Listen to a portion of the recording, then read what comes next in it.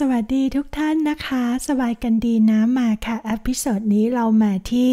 ซีรีส์แนวจีนปัจจุบันกันบ้างนะคะ เรื่องกลับมารักกันอีกครั้งหนึ่งค่ะ โอ้ยเรื่องนี้น่ารักจังเลยนะคะเรื่องนี้ดูอย่างมีความสุขมากนะคะ ไม่ต้องคิดอะไรเลยค่ะ ก็อูเฉียนนะคะ ก็รับบทของความเป็นเสียงหยวนได้น่ารักจริง ๆนะคะ ก็เป็นคุณหนูแห่ง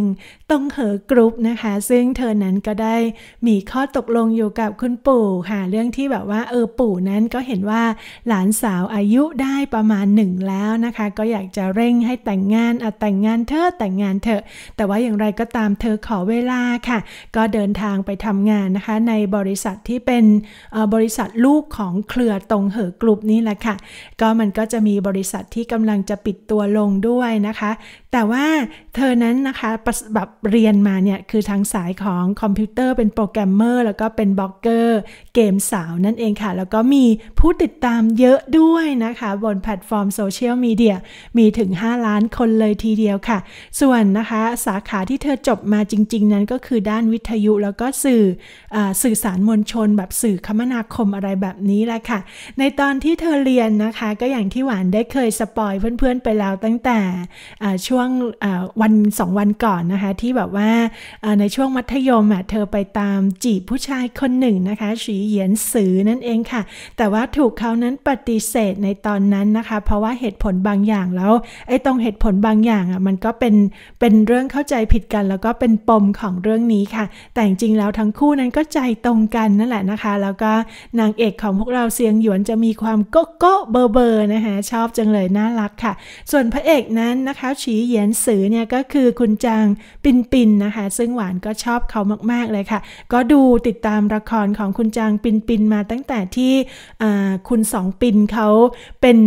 พระรองอยู่นะคะ คือเป็นบทสมทบอยู่แล้วก็ก้าวขึ้นมาเป็นพระเอกเต็มตัวเรื่อยๆ ก็ดูมาเรื่อยๆนะคะ เป็นอีกคนหนึ่งที่ดูแบบเออหล่อแบบสะอาดสะอ้านเนาะสำหรับคุณจางปินปินนะคะก็ถูกใจเขาไปถูกใจถูกใจอดหวานนะคะเอาละค่ะเขาเป็นนักวิศวกรดาวเทียมนะคะ นอกจากนี้แล้วก็ยังคงเป็นหัวหน้าแผนกเทคโนโลยีในบริษัทเวลินนะคะ แล้วก็ความใฝ่ฝันก็อยากจะเป็นนักวิศวกรนำร่อง แล้วก็พัฒนาวิจัยระบบนำร่องดาวเทียมของสาธารณรัฐประชาชนจีนเลยนะคะ แต่ว่าหลังจากที่เขาจบปริญญาตรีแล้วก็ถูกบริษัทยักษ์ใหญ่เนี่ยก็แย่งตัวอยากได้ทางด้านของฉีเหยียนสือพระเอกของพวกเราไปทำงานค่ะ แต่ทีนี้นะคะความหล่อเหลาของตัวเขาแล้วก็รูปร่างที่ดีมาตั้งแต่แบบสมัยเป็นเด็กแล้ว แถมยังฉลาดอีกด้วยนะคะ ก็กลายเป็นเทพบุตรที่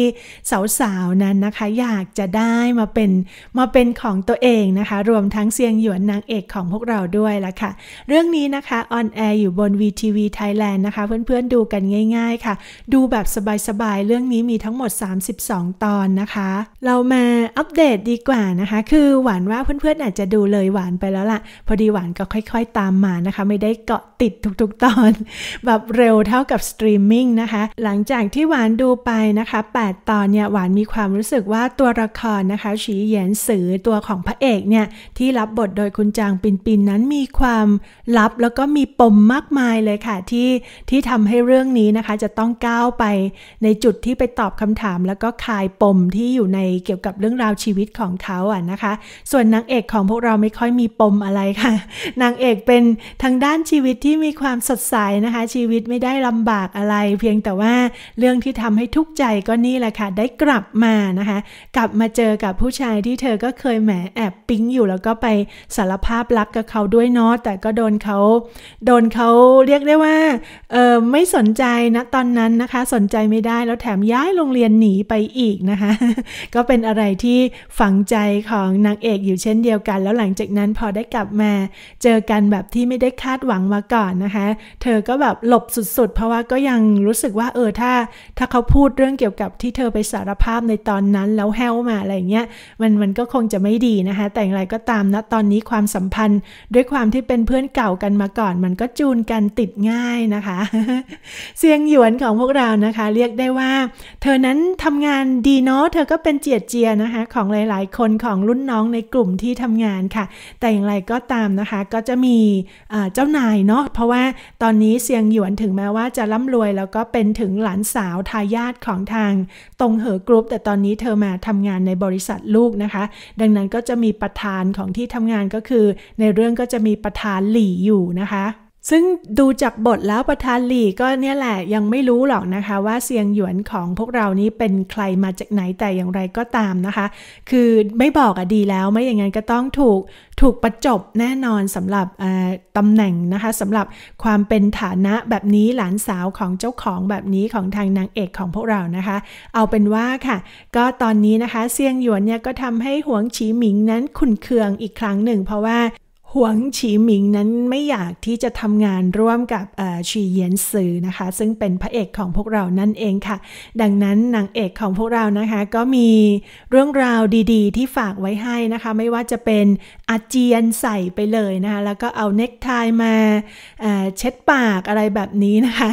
เรียกได้ว่าทำตัวได้น่ารังเกียจสุดๆเลยนะคะแต่ว่าจากในเรื่องเราจะเห็นแง่มุมที่มันเป็นมุมน่ารักน่ารักนะคะ ของสองคนนี้ที่เป็นเพื่อนเก่าแล้วก็เคยมีใจให้กันทั้งคู่แหละมาก่อนเพียงแต่ว่า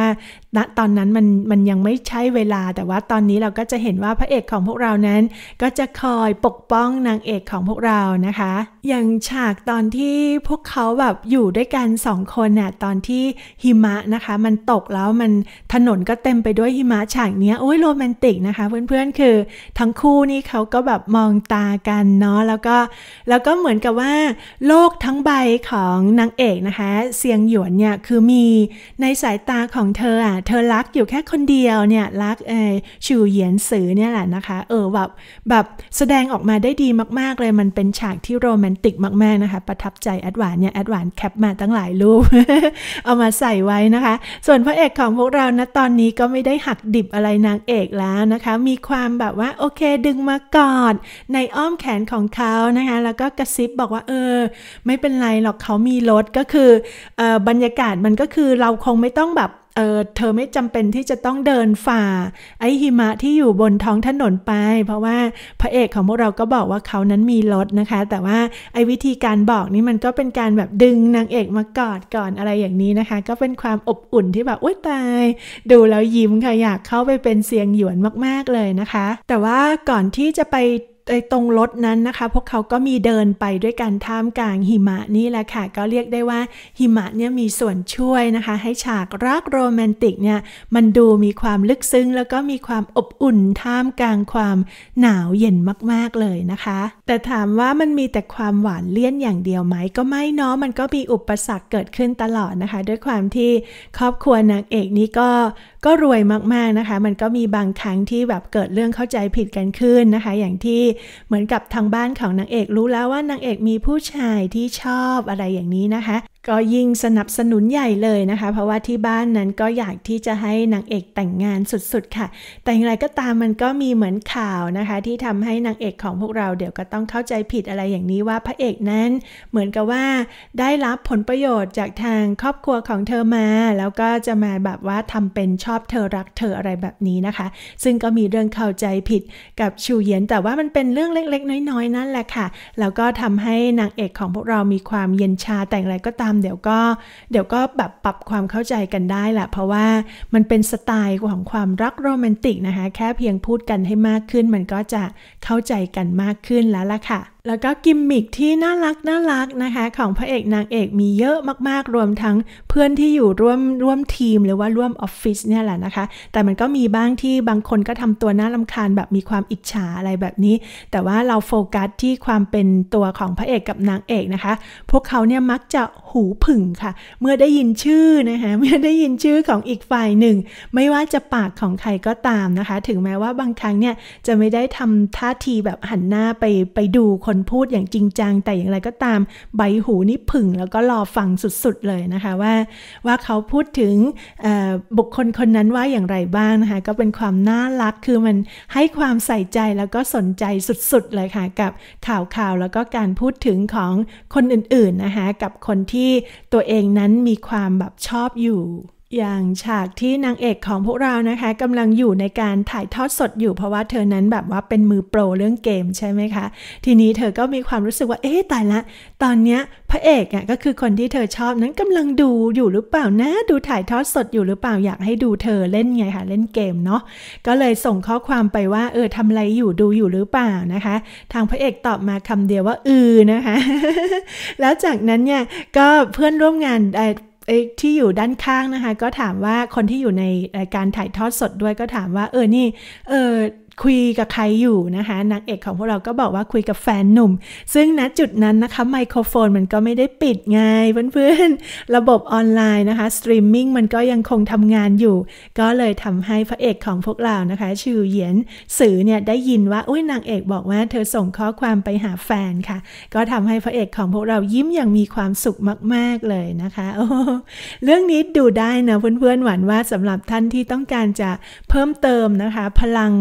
พลังความบวกแล้วกันเนาะเรื่องนี้ไม่มีอะไรให้คิดมากนะคะ ดูเพลินๆแล้วก็ดารานักแสดงสวยหล่อน่ารักมากๆเลยค่ะเอาละค่ะก็ขอฝากเรื่องนี้ไว้ด้วยนะคะ กลับมารักกันอีกครั้งหนึ่ง แล้วก็ดูเป็นเพื่อนกันที่ WeTV Thailand ค่ะ หวานลาไปก่อนนะคะสำหรับ episode นี้แล้วเพื่อนๆคิดอย่างไรกันบ้าง กับเรื่องนี้นะคะ หวังว่าทุกคนจะมีความสุขเมื่อได้ดูเรื่องนี้กันแล้วนะคะ หวานลาไปก่อนค่ะ สวัสดีค่ะ